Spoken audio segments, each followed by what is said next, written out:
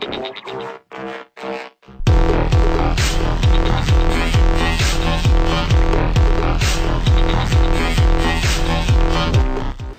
guys, uh, this is going to be just a quick update video um, on the Tegra Note 7. Uh, this is a device I love playing on. This thing's just tons and tons of fun. Um, but there's been an OTA update for it if you haven't uh, aren't aware of it. And it updates you, fixes some tweaks and some SD card problems you had on KitKat. And it, it, it's OTA update. Bring It's called uh, version 2.4. Alright, so what I want to show you today is two things. One is updated my super tool to the newest OTA update, which is really cool. And uh, two, Shaky 156 uh, developer on XDA has gotten TWRP recovery for this device. That's really cool. And I've included it in my super tool as well. So let's just shoot over to my computer and show you how to install TWRP recovery. Alright guys, so right here is the new super tool and like I said it's 2.4.t um, and that stands for works with or has TWRP recovery in it and here's TWRP recovery image so if you want to download the new tool um, you can get it right here right here 2.4.t and download it. I'll give you a link to this if you want it. And it does contain the latest version of TWRP recovery.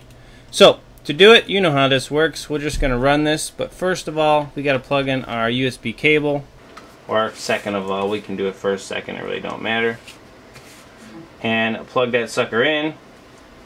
And I'm turning it upside down just so I can plug it in. And also because TWRP is still upside down just like um, clockwork mod recovery is so from here it's very very simple you just uh, select option 5 and hit enter and then you know it just walks you through it just like always space bar or enter whatever here your device reboots, flashes, and then you just go down to recovery kernel, hit power to select it, and you will boot up TWRP Recovery Team Win Recovery Project.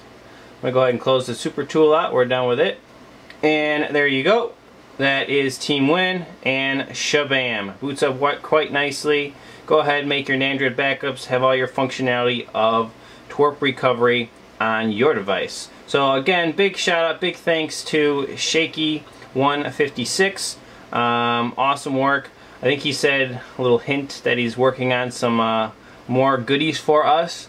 So that's pretty exciting. I'm um, go ahead and reboot this system. And that's it.